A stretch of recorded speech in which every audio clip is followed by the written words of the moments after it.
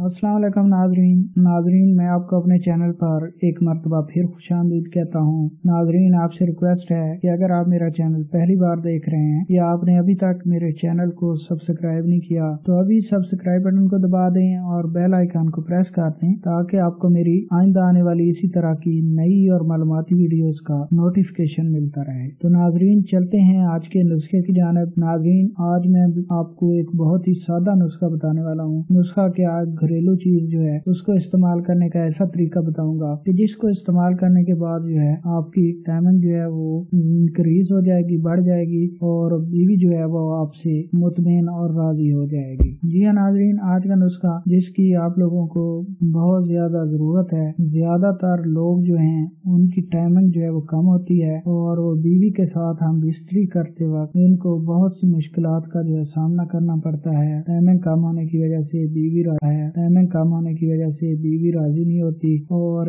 इसकी जो है टाइमिंग कम होने की बहुत सी वजूहत होती हैं, जिसमें सबसे बड़ी और खास वजह जो है वो मेदे की गर्मी होती है। यानी मुश्तनी करने की वजह से आपके जो अजाय रईसा होते हैं वो खराब हो जाते हैं। इसी तरह आपका जो मैदा है, उस पर भी उसका असर होता है, कब्ज वगैरह रहती है हाजमा जो है वो सही नहीं होता और उसके साथ साथ मैदे में गर्मी और जिगर में गर्मी बढ़ जाती है, जिसकी वजह से जो है आपकी टाइमिंग जो है मनी पतली हो जाती है और टाइमिंग जो है वो कम हो जाती है। तो आप लोग औरत के अंदर जो है, जब नाफ्स हम इस्त्री करने के लिए डालते हैं तो उसके साथ ही बहुत ही जल्द फारग हो जाते हैं। तो इस जो है मसले को हल करने के लिए मैं आपके साथ ये नुस्खा जो है, शेयर करने जा रहा हूँ। तो नाजरीन, बगैर वक्त किए चलते हैं नुस्खा के जुड़ा की तरफ़। सौंफ एक तोला और नमक एक तोला। नाजरीन, सौंफ को अच्छी तरह कूट कर रख लेना है। आपने इतना कूटना है कि जिससे उसके ऊपर वाले जो छिलके होते हैं उतर जाएँ और उसके अंदर जो चावल होते हैं, सौंफ के अंदर वो निकल आए। यानी अंदर का जो उसका बीज है, वो बाहर निकल आए। उसके बाद इसमें थोड़ा सा पानी डाल लेना है और उसमें थोड़ा सा नमक भी डाल लेना है और इसको मिक्स कर लेना है। नाजरीन, ये आपने जो सफूफ है, ये आपने दिन में तीन बार इस्तेमाल करना है। जी हाँ नाजरीन,